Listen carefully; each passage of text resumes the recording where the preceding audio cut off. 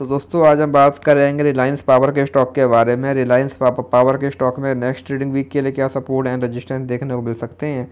उसके बारे में आज इस वीडियो में बात करेंगे। हम अगर यहाँ पर स्टॉक की बात करें तो हम देखेंगे जो ये स्टॉक है, ये हमको पिछले एक लंबे समय से यहाँ पर लगातार क्लियर अप ट्रेंड में देखने को मिल रहा है। हमको यहाँ पर स्टॉक में हाइयर हाई हाइयर लो वाला पैटर्न यहाँ पर देखने को मिल रहा है। अभी रिसेंटली हमको यहाँ पर स्टॉक में गिरावट भी देखने को मिल रही थी, लेकिन यहाँ पर गिरावट के बाद भी स्टॉक ने अपने लो को ब्रेक नहीं किया और अगेन हमको स्टॉक में रिकवरी देखने को मिली है। तो यहाँ से अभी हम स्टॉक में बात करें, अगर यहाँ से स्टॉक में ये तेज़ी कंटिन्यू रहती है तो यहाँ से भी और तेज़ी की कंडीशन में। हमारे पास यहाँ पर स्टॉक में twenty six point six zero का पहला यहाँ पर रजिस्टेंस देखने को मिलेगा, अगर स्टॉक इसको भी यहाँ ब्रेक करता है। देन यहाँ हमको स्टॉक में twenty eight point seven zero और अगर स्टॉक ने इसको भी यहाँ ब्रेक किया दैन यहाँ से हमको स्टॉक में अगेन एक बड़ी तेज़ी।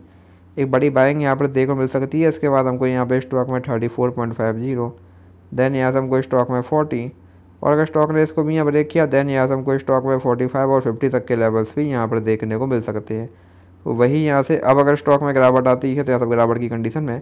हमारे पास यहाँ पर स्टॉक में twenty four point four zero का पहला यहाँ पर सपोर्ट देखने को मिलेगा। अगर स्टॉक ने इसको भी यहाँ ब्रेक किया देन यहाँ से हमको स्टॉक में ट्वेंटी टू और नाइनटीन तक के लेवल्स भी यहाँ पर देखने को मिल सकते हैं एज ए नेक्स्ट यहाँ पर सपोर्ट तो ये स्टॉक में कुछ इंपॉर्टेंट लेवल्स हैं, आप इन पर ध्यान दे सकते हैं। बाकी वीडियो में कोई बाय सेल होल्डिंग्स नहीं है। वीडियो केवल एजुकेशनल पर्पज़ के लिए है। धन्यवाद।